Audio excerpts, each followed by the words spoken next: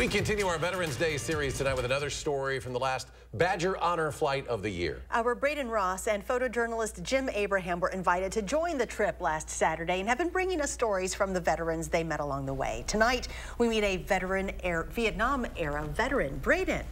Yeah, tonight I'd like to introduce you to Wayne Martin. When he got his draft letter, his loved one's worst fear was seeing him ship off to Vietnam. Thankfully, that fear didn't come true for Wayne, but in his time in the service, still had a big impact on him and his family. Take a look.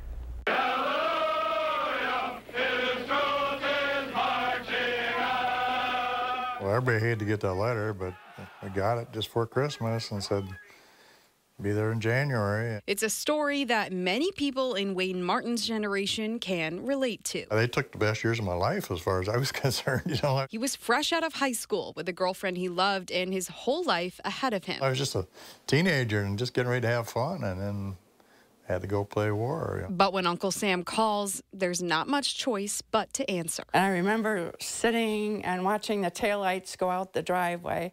I was really upset. I knew that there were call-ups all the time for Vietnam, and that was my greatest fear. It was a bus to Milwaukee and then a plane to Fort Campbell, Kentucky for basic training. And everybody I went to basic training with was getting their orders for AIT, Fort Hood, Texas, which meant they were going to Vietnam. They called out my orders and said OJT, Fort Riley, Kansas, and I was excited. So thankfully, that worst fear didn't come true. Wayne escaped the trip overseas for the time being and settled into his role as a tow truck operator in Kansas. Meanwhile, back home, Wayne's girlfriend Bia was going to school here in Madison in one of the nation's most active anti war hubs. It was on the news constantly, and it was right there in front of you because I don't. Those um, National Guard were around the square for months and months and months. In our apartment, we got tear gassed because the police were tear gassing demonstrators out in the road and it came in our open windows and that really brought it home to me that people are really rebelling. And i'm thinking how does that affect him? He didn't have a choice. He got drafted. He had to go. Wayne made it home when he could sometimes for less than 24 hours at a time.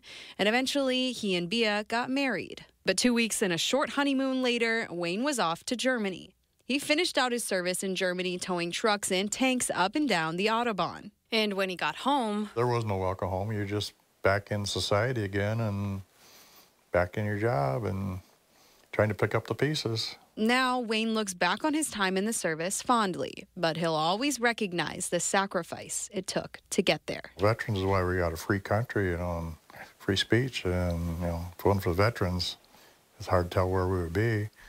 And, uh, you know, anybody's a veteran. It's just tip your hat to them.